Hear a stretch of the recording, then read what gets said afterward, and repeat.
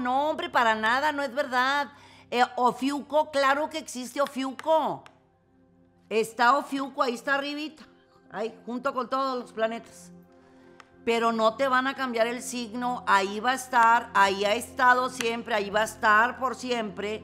Pero yo sigo siendo Sagitario, Chacho sigue siendo Libra, Bernie, Escorpión, o sea, ahí no lo vamos llevando. Eh, Quino, Aries, o sea, no lo vamos no pasa nada.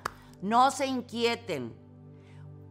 la vez pasada yo leí esta nota hace mucho tiempo y decía, es que la NASA, la NASA no se mete con la astrología.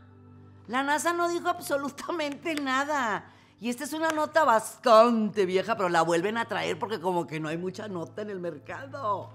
No, no hay cambio de signo. Todos seguimos siendo el mismo signo. A lo mejor eso va a pasar en el año 4000 o 3000. Yo no voy a estar ya que alegue otra, ¿verdad? Pero por lo pronto, no.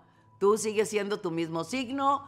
Todas las personas que conocen siguen siendo el mismo signo, así que no se me inquiete, no pasa absolutamente nada, repito. Ofiuco, pues ahí está arriba, claro que sí, por supuesto.